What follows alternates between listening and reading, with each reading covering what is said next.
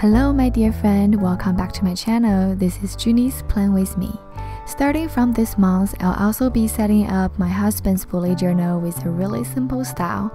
I guess it could be called minimalist. Before I start, I want to say thank you for all your support and my channel just reached 5k subscribers. As a special thanks, I'm providing digital PDF of all the spreads from this video to download for free. You'll find out how to get it at the end of this video. Now let's get started. Instead of having the whole spreads as cover page, I decide to write down the title page on the left side and leave the right space for monthly glance since my husband only wants half spread for monthly event planner. Then for the title, I'm considering to have a series with the first letter of each month's name. So for July, I'm using the capital letter J and then add an 8x8 box behind it. As I mentioned earlier, I want to have this setup really simple, so I decided to go with some leaves on the vine around the letter. Try to draw each leaf differently and give it some variety of direction to make it more interesting. One easy way to build contrast is to use positive and negative space. Here I'm blacking out the box so the letter and leaves can pop out more. As I'm coloring it, I also leave some white space for the vines, which I'll refine again with a white gel pen later. Then I step the monthly calendar under it. I find it really useful, especially if you're using the original vertical calendar design by Ryder Carroll. The regular calendar can help you to locate the day within a week really easily. Now I'm working on the vertical calendar I just mentioned. Write down the date on the left side and the day of week in the black bar to match the month style. Then I draw 8 by 32 box for note and decorate the left up corner and the right down edge with some simple leaves. As final touch, I'm fixing the cover page with a wet gel pen and now the cover page plus month view is done. On the next spread, I have habit tracker and sleep log. Unfortunately, I lost footage of writing down the title, so let's start from the habit chart. Here I'm putting habits on the top and sleep hours below as y-axis and the date as x-axis. I've been trying this type these days and it works better for me compared to the smaller calendar for each habit. Because when I check out the daily habit, I can easily see the one that I didn't make it for the day, so it reminds me to finish it better.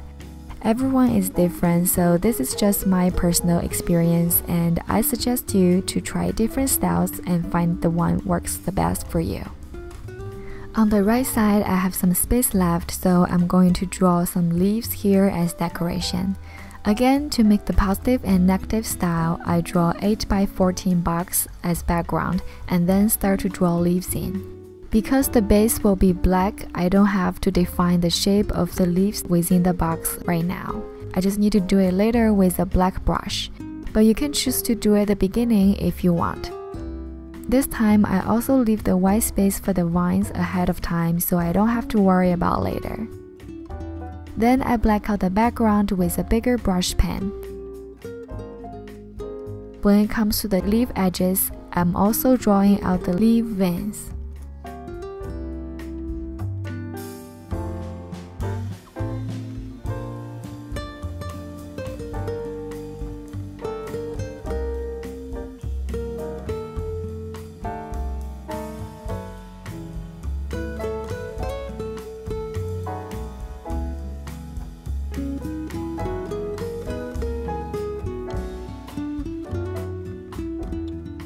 At the end, I use white gel pen to write down July on the top.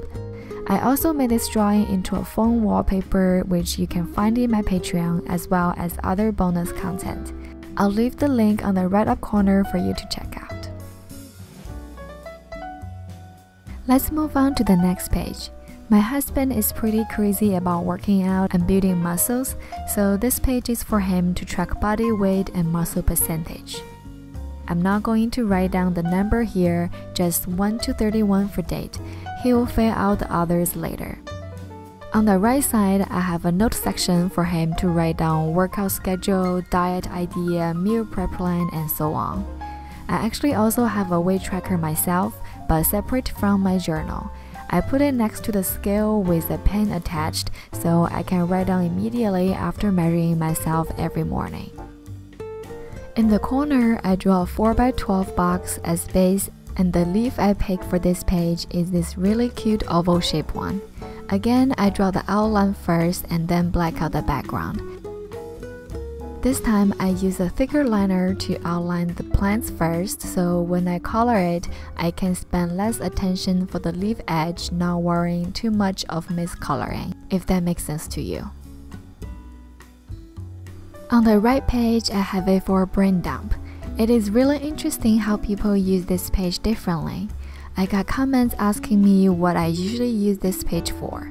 Well, I use it for video ideas, future Bujo theme options, good quotes I read randomly, and other self improvement related thoughts. What do you use it for if you also have this page? Let me know in the comments, and I'd love to know more possibilities. As for the title, I black out half of it and rewrite with a white gel pen for the covered part, which turns out not bad. Then for the leaves, I'm using a different technique here, which is drawing the outline with a white pen and leave the inside of the leaves as black.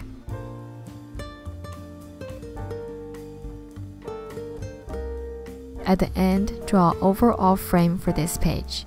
The leaf decoration looks more like a pattern tape, so I decided to patch the edges with a black liner as you can see now.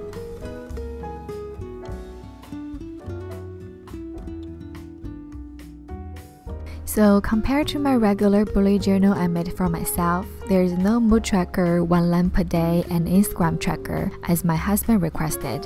Now let's jump into weekly spread directly. Here I'm going to do Dutch doors for each week. But before cutting anything, I'll finish the left page first. I write down July with a big J and under it, instead of drawing a box, I'm drawing the leaves first. The plant I choose here has long and thin leaves, really elegant and also stick out of the box a lot, so I think it's better to draw them first. After that, I draw a 7 by 13 box behind the plants and color it like previous pages. And also don't forget to highlight the vines at the end.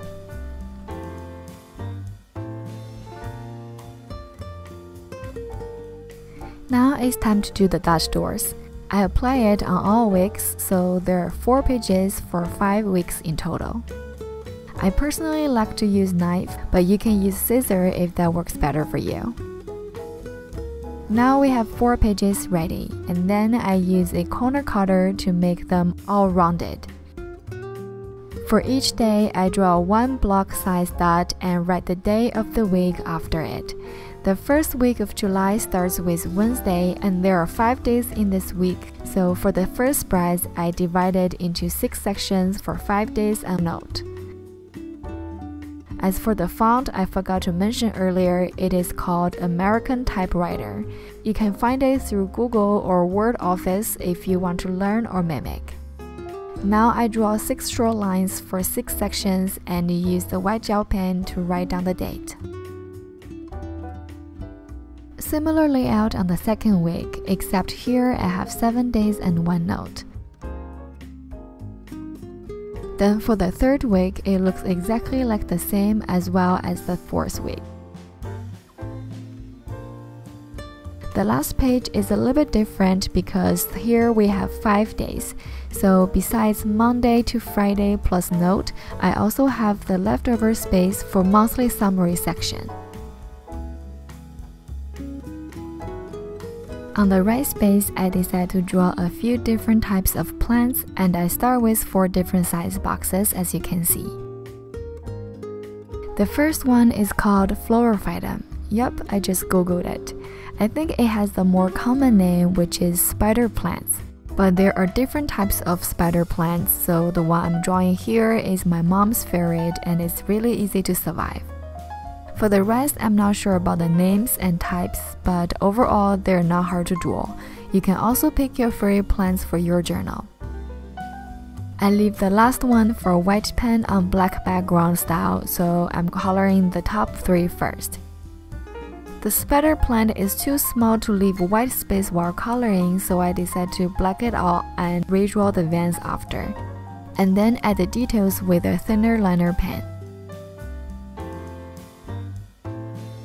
Then for the second one, I add one more leaf to match the overall style.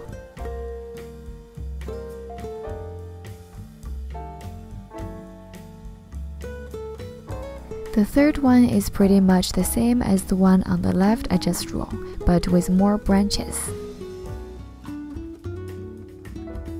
As for the last one, I'm drawing it in the same style that you've seen from the brain dump page. At the end, I put a month calendar on the right corner, so while using each week spread, you can also locate the week within the month really easily by checking it. And before final flip through, I want to give a special thanks to my new Patreon members, Catherine and Sini.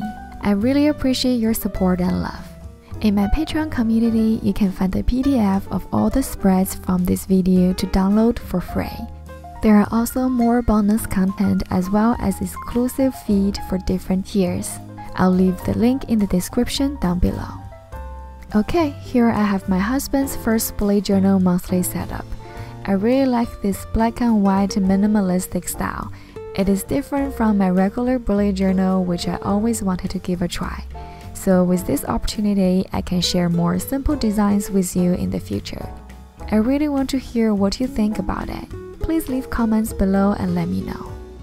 I hope this video is helpful or inspiring for you. If you like this video, please click like and subscribe. Also, don't forget to turn on the bell. Thank you for watching. I hope you have an amazing July.